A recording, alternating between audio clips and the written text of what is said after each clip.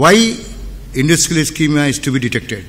Diagnosing myocardial ischemia or inducible ischemia prior to heart attack is important because IHD or ischemic heart disease are responsible for approximately 14% of all deaths worldwide. One third of patients with CAD is not diagnosed until after a heart attack occurs.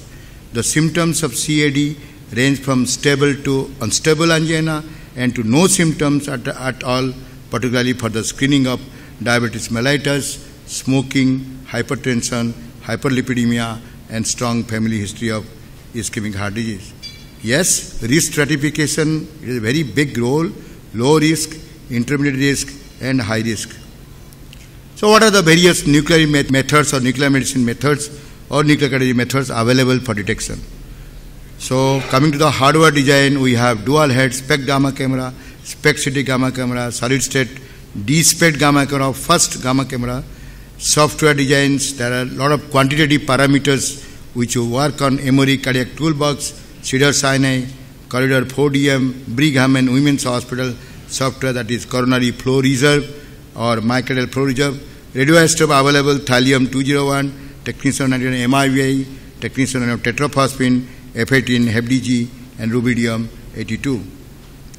So hardware design, if you see that there are dual head SPECT gamma camera or SPECT CT gamma camera.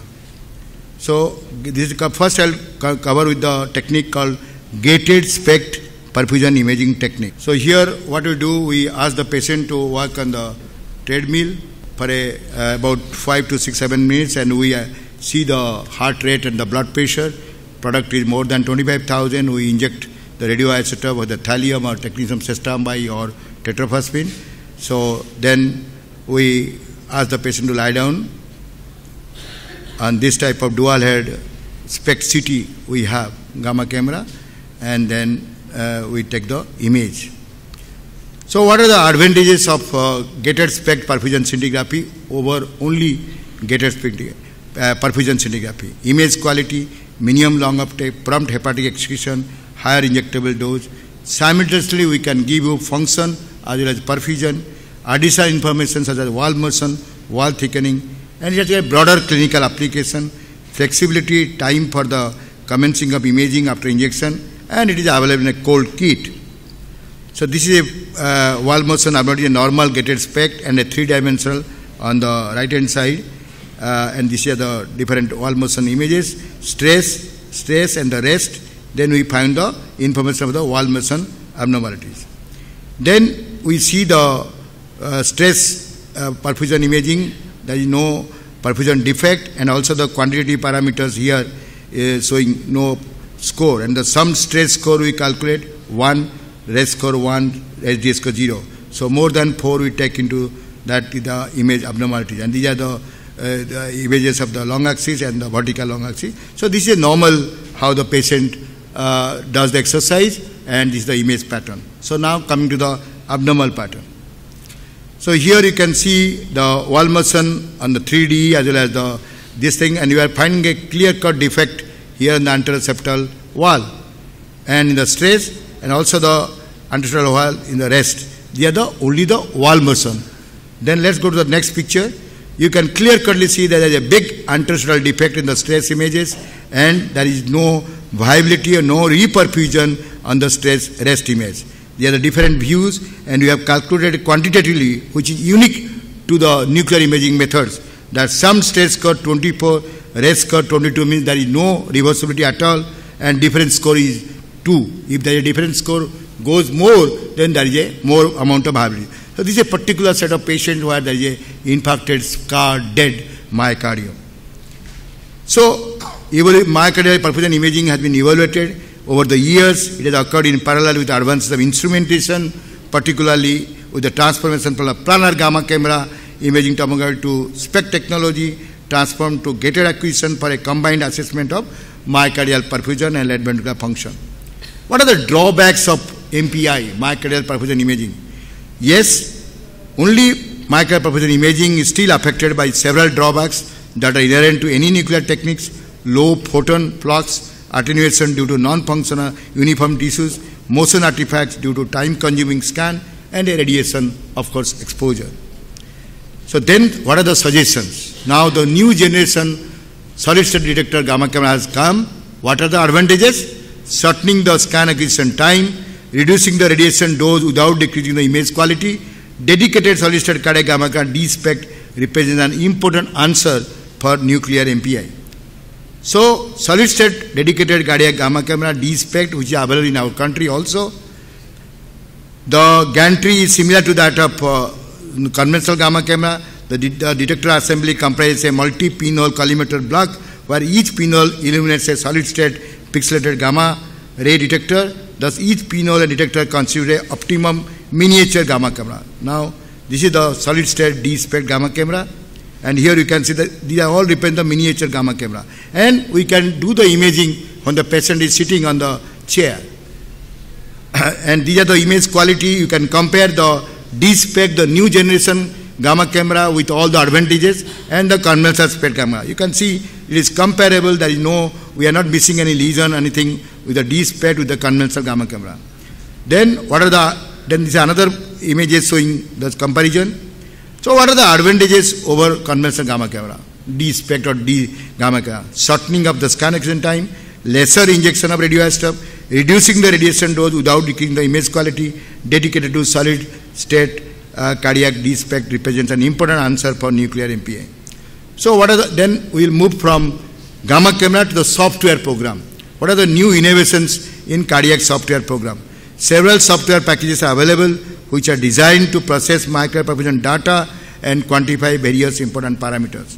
What are they? Quantitative gated SPECT, QGS from Cedars-Sinai, 4DM, Emory Cardiac Toolbox, and recently Brigham and Women's Hospital in Boston, they have developed a coronary flow reserve. Apart from perfusion images, we can give the coronary flow reserve as compared to the fractional flow reserve or CT uh, calculation of coronary flow reserve. so parameters, all the parameters we get, end diastolic volume, end systolic volume, end systolic wall thickening, left ventricular global ejection fraction, perfusion scores, defect size and reversibility, LV-RV count ratio, and TID, transient ischemic dilatation LV, and the heart-lung ratio. Correlations are excellent between these softwares for all parameters.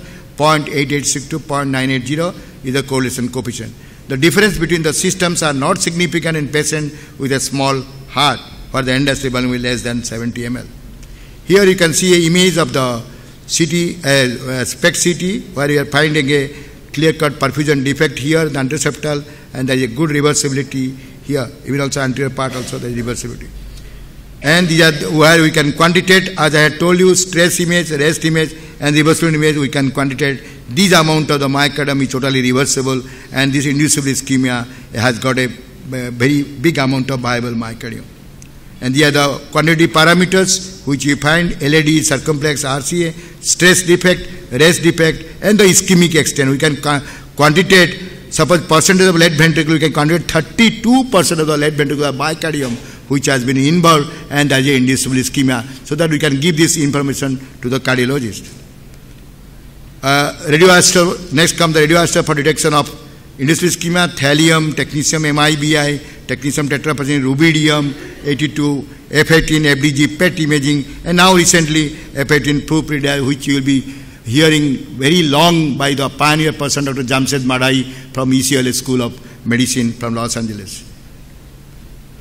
So these are the stress, delayed and re-injection where we didn't have the PET, so we are doing the re-injection showing the myocardial viability the, in the era before PET came into the existence. And here you can clearly say there is a reversible perfusion defect in the stress anteroseptal and reversible is there. You can see from here, you can see from here. And the, the amount of myocardium which is involved is about 20, 10% of the stress defect and reversible is there. So then comes the rubidium 82 myocardial perfusion imaging for detection of inducible ischemia, most widely used PET myocardial perfusion imaging agent, radiotracer, generator produced potassium analog as compared to thallium, physical half-life is less, 76%, does not require on-site cyclotron, parent radionuclide is strontium 82, physical half 26 days, generator can be eluted with more than 90% yield every 10 minutes, short physical half-life and rapid reconstruction of the generator allows first sequential perfusion imaging. Rubidium-82 imaging yields excellent image quality with current PET technology. So the protocol stress imaging can be performed with the pharmacological means adenosine dose you inject 40 to 60 millicurie and some laboratory perform stress imaging first as a normal scan then this is the rubidium-82 imaging which I want to show you. There is a clear-cut perfusion defect on the inferior and the posterior lateral wall which is fixed also at the rest image. And here we have calculated the coronary flow reserve, CFR. Here the less than 2 is the significant CFR. That means the myocardial blood flow is significantly decreased 1.07 LAD circumflex 1.03 RCA1. This is the additional parameter we can give uh, apart from the myocardial perfusion and viability. This is another case where there is a defect here and reversibility is here. And this is the computation of myocardial blood flow with rubidium-82 which has been compared with nitrogen 13 ammonia. So here it is an interesting case which I would like to show you. There is almost normal perfusion, small amount of reduced perfusion, but here the blood flow is reduced on all the data, LAD 1.1, LCX 1.1, 1.4, more than 0.2, 0.7. This parameter will help the cardiologist to help to guide the treatment planning. This is FDG also used for ischemia imaging. Uh, the other uh, FDG image exercise, ischemia. So here you can see that all the imaging part. Then the last one, the new PET stress perfusion imaging agent. New innovation in finding out a PET microperfusion image as that of SPECT, uh, technician under labeled agents such as sestamibi or tetrofosmin. Newer agents are fluorine 18 flurpiridaz is in a stage 3 clinical trials and may be the first PET tracer to be approved by FDA for a stress PET myocardial perfusion imaging to all over the world so that in a PET imaging agent we can do stress and rest as, as, as that of thallium or technetium labeled agent. then this is the structure of the flurpiridaz and these are some studies which you have done and the comparison with levels SPECT and their sensitivity is little high and the specificity is also little high as compared to PET and SPECT. So Advent is a PET over SPECT for the detection of interstitial ischemia. PET scanners have higher spatial resolution and count sensitivity than SPECT scanner. PET images can discriminate more readily between areas of normal and abnormal perfusion as a result of PET imaging has a better diagnostic accuracy. PET agents can offer myocardial blood flow or coronary flow reserve, especially in the presence of inducible ischemia, to reclassify the subset of patients. Sensitivity per PET is 4 to 5% higher and specificity 3 to 5% higher than for imaging. Patients are exposed to significantly less radiation with PET imaging than with SPECT less than 5 millisievert for a rest and stress study. A rest vascular stress PET microperfusion study can be completed in a quarter of the time required for a SPECT perfusion study with a technician until anterior level tracer.